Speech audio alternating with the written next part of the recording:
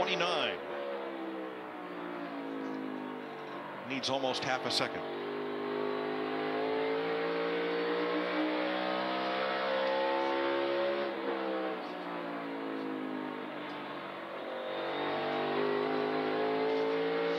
And it went red as he got back to the gas coming up off turn number four.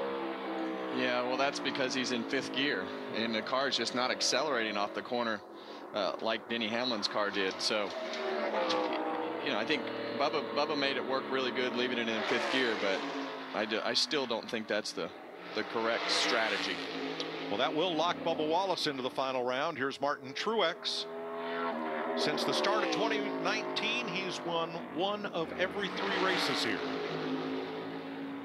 He's the point leader.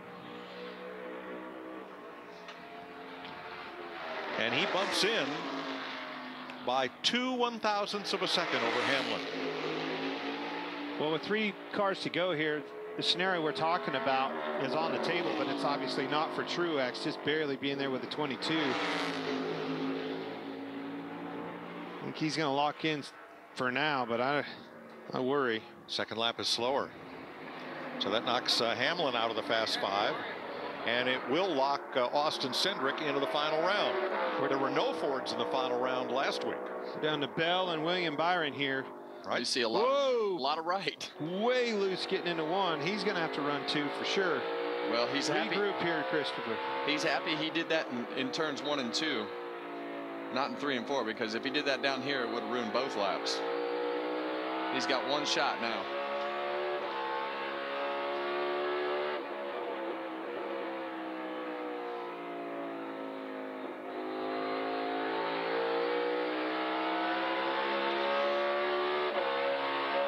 Not gonna, not gonna be the lap Christopher Bell wanted. Nope.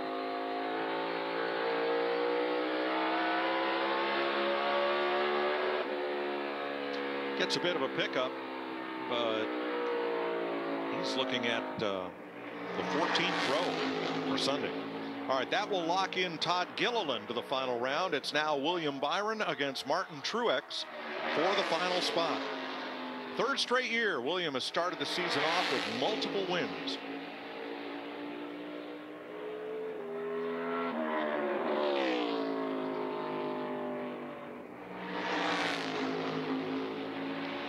Rolled really good through the center.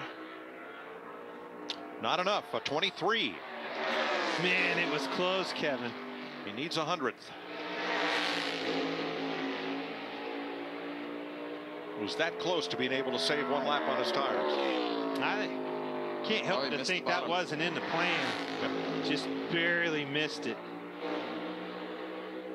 Got him.